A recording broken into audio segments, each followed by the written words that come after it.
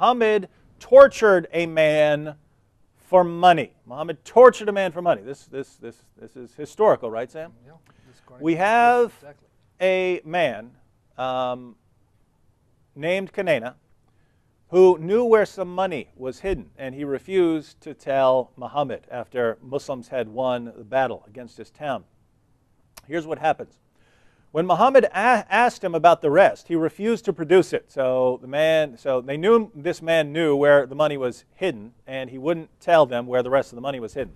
When Muhammad ha- asked him about the rest, he refused to produce it. So the apostle gave orders to Al Zubair bin Al Awam torture him until you extract what he has. So he kindled a fire with flint and steel on his chest until he was nearly dead. Then the apostle delivered him to Muhammad bin Maslama, and he struck off his head in revenge for his brother Mahmud, who had been killed uh, in the battle. So think about this.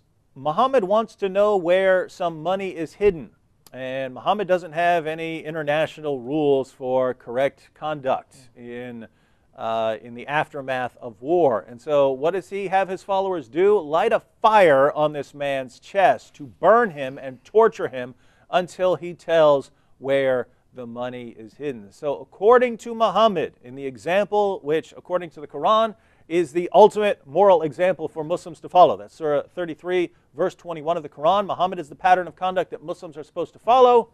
You can torture a man to extract information from him. You can torture him in the most brutal ways, and then when you've gotten what you want, you can chop off his head in revenge for other Muslims who've been killed at the hands of the unbeliever. So, that's number 10 for tonight. But- I wanted to add something because you mentioned Kinana.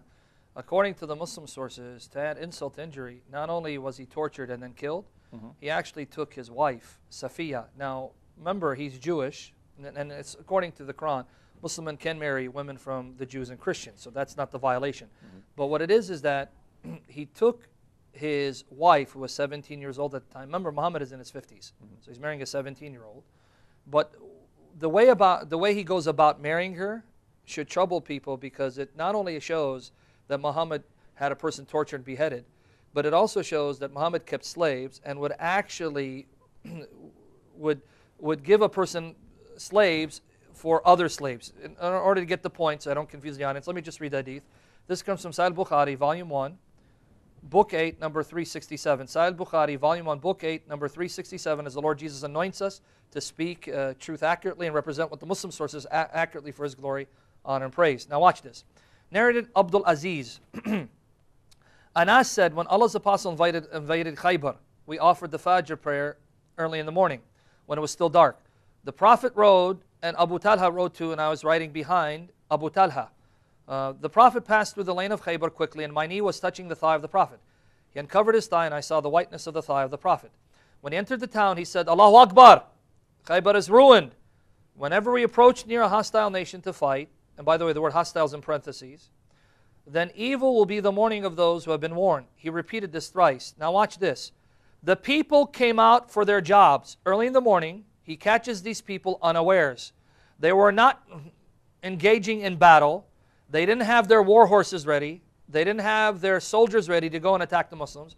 They were leaving their homes to go to work. The people came out for their jobs, and some of them said, Muhammad has come. Some of our companions added, with his army. We conquered Khaybar, took the people unawares, took the captives, and the booty was collected. Now, watch, this is the relevant part. Dihya came and said, O Allah's a prophet, give me a slave girl from the prophets. A slave girl from the prophets. I'm sorry, prophets? I meant Yeah, captives. sorry. I'm, Yeah, I'm sorry. I'm thinking so much about the prophet. Lord, protect me from error. Slave girl from the captives. In one sense, in sense she was a prophet, mm-hmm. meaning P R O F I T, right? The prophet said, Go and take any slave girl. Take who you want.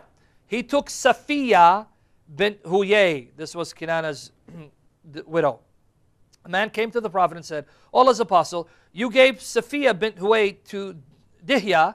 She is the chief mistress of the tribes of Qurayza and Nadir, and she befits none but you. So the prophet said, Bring him along with her. So Dihya came with her, and when the prophet saw her, he said to Dihya, take any slave girl other than her from the captives. Then the Prophet manumitted her and married her. Now, according to Islamic law, you're supposed to give a dowry, right? Mm-hmm. When you're about to marry someone. So a person asked, Thabit asked Anas, Oh Abu Hamza, what did the Prophet pay her as her mahr, her dowry? He said, herself. By freeing her, that was her dowry.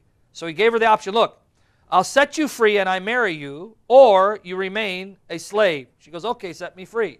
So the dowry was setting her free. On top of that, another narration says that Muhammad gave Dihya seven slaves as an exchange for her. So you catch what's going on here. Not only do they take captive women, not only can they sleep with captive women, not only can they marry captive women, they also have slaves and they can exchange slaves for other slaves. So much for the claim that Islam abolishes slavery. Seven slaves in exchange for her. So Muhammad tortures this woman's husband and then has him beheaded, then takes the man's wife, and the and Islam obviously is going to condemn him for this, right? No, it's all good. It's all good, and this is the man who has Allah's stamp of approval. If you want to imitate someone as a Muslim, you are supposed to imitate Exactly. Muhammad.